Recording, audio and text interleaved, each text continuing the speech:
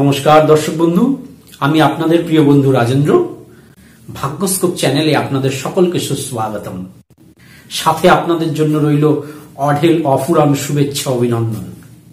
প্রতিদিনের ন্যায় আজকেও একটি নতুন বিষয়ের সাথে একটি নতুন ভিডিও আপনাদের সামনে উপস্থাপন করতে চলেছি। আমার সাথে সব সময় যোগাযোগ রাখতে নিচের ফেসবুক পেজটি লাইক করুন এবং ফলো করুন। আর আমার হোয়াটসঅ্যাপ গ্রুপ জয়েন করতে আজই নিচের নাম্বারে রিকোয়েস্ট পাঠান।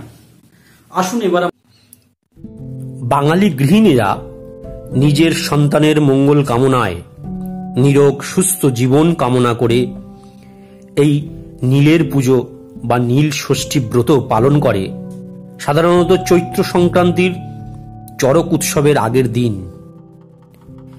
এই নীল পুজো এবছরে অনুষ্ঠিত হবে আগামী বারোই এপ্রিল দু হাজার কুড়ি রবিবার। বাংলায় উনত্রিশে চৈত্র চোদ্দশো ছাব্বিশ। তবে অনেকে দেখবেন নিয়ম মেনে ষষ্ঠী তিথিতেই এই পুজো করতে চায়। আমি এখানে একটা কথা উল্লেখ করে দিতে চাই। এই বারোই এপ্রিল, অর্থাৎ রবিবার সারা দিন কিন্তু আপনি ষষ্ঠী তিথি পাবেন না। রাত্রি দশটার পরে ষষ্ঠী তিথি শুরু হবে। পরের দিন, অর্থাৎ তেরোই এপ্রিল, যেদিন চড়কের দিন, সেই দিন সারাদিন কিন্তু ষষ্ঠী তিথি। সুতরাং যারা যারা ষষ্ঠী তিথি মেনে এই নীলব্রত করেন, তারা তাদের নিজস্ব স্থানীয় সময় একবার পঞ্জিকাতে দেখে নেবেন বা পণ্ডিত মশাইদের জিজ্ঞেস করে নেবেন।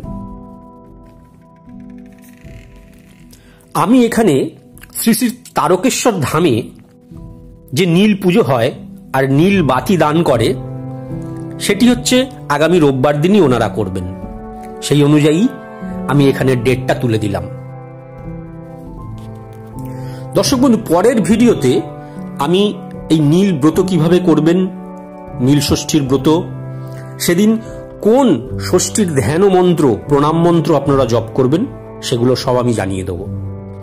আর একটা ব্যাপারে আমি আপনাদের পরবর্তী ভিডিওতে জানিয়ে দেব যে এই যে নীলবাতি দান এই নীলবাতি দান আপনারা গৃহে কীভাবে করবেন?